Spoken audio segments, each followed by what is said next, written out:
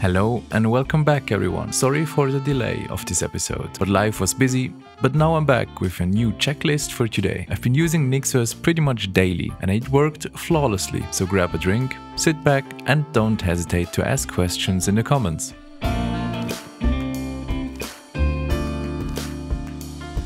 So the first thing on today's checklist is to improve my microphone sound. For that I had, as one does, we looked it up on the Nix Packages website. That's how I install it, just easy effects. I added a few things, just a compressor, speech processor, noise reduction, equalizer, de-essers. Okay, we did the first thing, which is the audio panel. I didn't do a lot there. I was I was too lazy to actually figure out what kind of equalizer and compressor and so on and so on I want. So I just installed it and I'm gonna leave it like that for now. So we did that. So next is setting up Kitty. I already have Kitty installed. I saw that you can do kitten themes.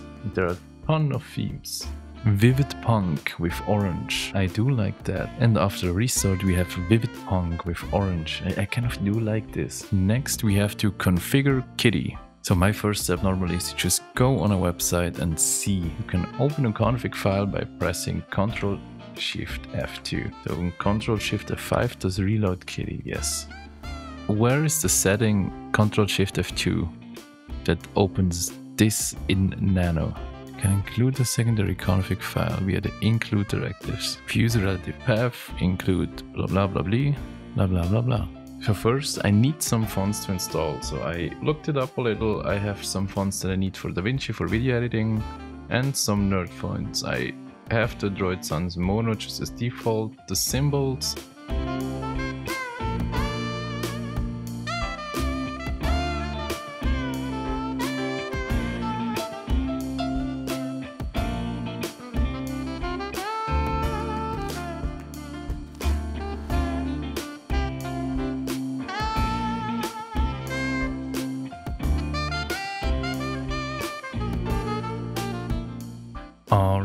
This is it. I'm finished with the KittyConf. I went through all the, I don't know, it felt like thousands of lines. I'm not sure how many it was. And I won't look at them again. I just, just deleted everything that I don't think that I will need. And I think I'm done. So I have my Hurmit Nerd font mono, the different bolts. I have the font size on 30 just because it's easier for you to read if I had if I have it big. No idea what this is I just left it in. Uh, cursor trail, I kind of like it. I think a lot of people will hate it, that this thing chums around like this. But I'm into it. URLs, just some URL highlighting. Then this is, I think, uh, just, this is about trailing spaces. I think it does delete them. I'm not sure, I can't remember. And the bell, I just enabled it.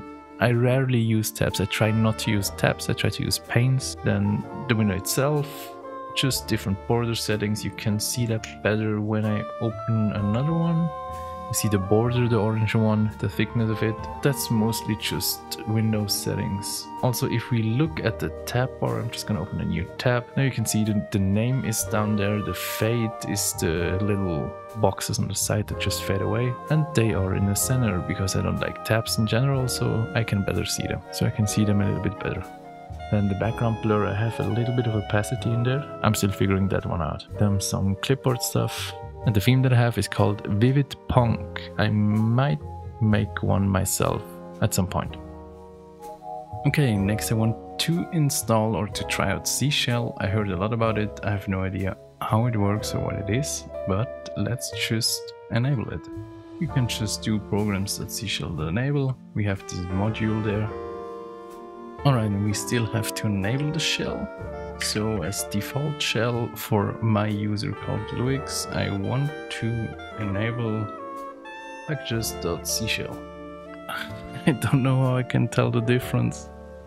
Is that the correct one?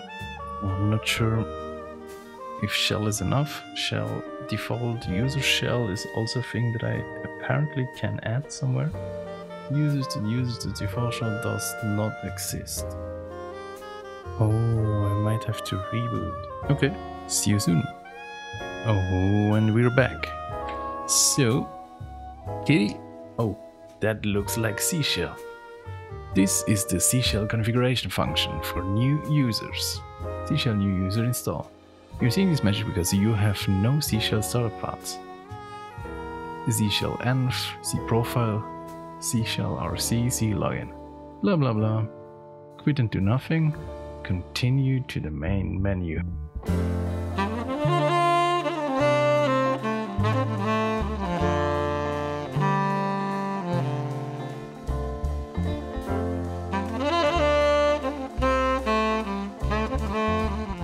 Saving new settings, they will take effect immediately. Oh, yeah. Alright, and what do we have here? Shell, zsh. This already looks nicer. It doesn't just spam it in. If you saw before, when I spam tab, it always gave me a new list. And now I can just go through. I'm not sure if I fully grasp what just happened. I just had vim commands inside the command line. So if I press ask and press zero, dollar, zero, dollar, zero, oh, oh. Okay, when I just tab around, it just flies over there. Oh, that's so good. I'm just thinking about adding all these things into GNU Stow so I can just symlink them and version them. Is it smart to version your history? That's that's a bit of the question. Because theoretically my history would be on Git. I, I just read that it's easier to just move them over Zsh in home just to make sure if anything works. The next thing that I wanted to stylize is this part and maybe see something else. For that, I'm just googling zsh configuration and looking at images. So I've been scrolling through the Oh My Zsh wiki and I don't see the difference in each image. Clean, this line. This one is green. This one, this one looks nice this little arrow. I don't like the percent sign here. Oh, there's too many. Oh god, where did I get into here? It's crazy. I think I will do it by myself. So here are a few of the configuration things in here that we did earlier.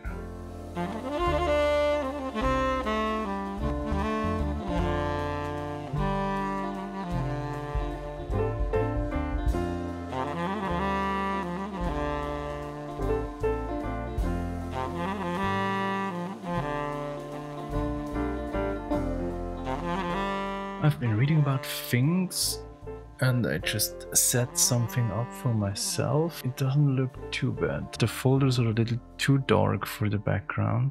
I think after all that, I'm gonna install some. Let's read what this is again. Oh, OMA Zsh is a delightful open source community driven framework for managing your Zsh configuration. It comes bundled with a thousand helpful functions, helpers, plugins, themes, and a few things that make you shout Oh my Zsh. That sounds fun. Oh my Zsh. There it is. There's even an option for it. That's crazy. Oh my Zsh. Let's quickly enable that. Apparently, think I have to do. Okay. We are enabling it again here. Okay. I have no idea what I'm reading here, but it seems to be important.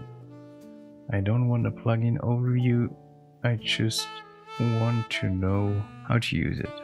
I can select the plugins manually. I disabled it up here, but enabled it here again. With all my Zsh enabled with some plugins, I still have to figure out how I can use more plugins. Okay, I just looked up the Oh My Zsh module from Nix and apparently it's really just enable plugins, Git, Python man and other things. My problem is I have no idea which themes or plugins that I should use. So I'm just gonna scroll until I find a theme that I like. And when I have a theme, I will look at the plugins, at the endless long list of plugins. This looks a lot like my old configuration. Did you use Zsh?